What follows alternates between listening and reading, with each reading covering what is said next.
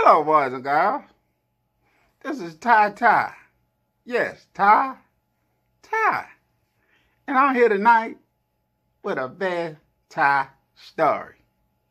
To put a positive word in your head before you lay it on the bed. The story tonight is for the ones in the club and for the party people that stayed at home that are saying the same thing at the same time. The roof, the roof, the roof is on fire. And the story tonight is not about the roof on your house, but it's about the roof in your mouth. Now go ahead and ask the million dollar question. How does this tie, tie into my life?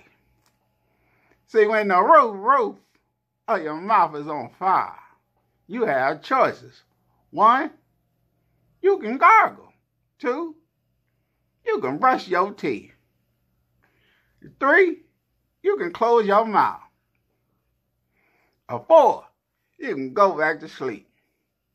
But when the roof, roof of your mouth is on fire, and you try to talk to someone, you may lose a friend for life. And thank you for listening to my bedtime story. And I pray that when you wake up in the morning, you can get to it and know how to do it. Now, what are you going to do?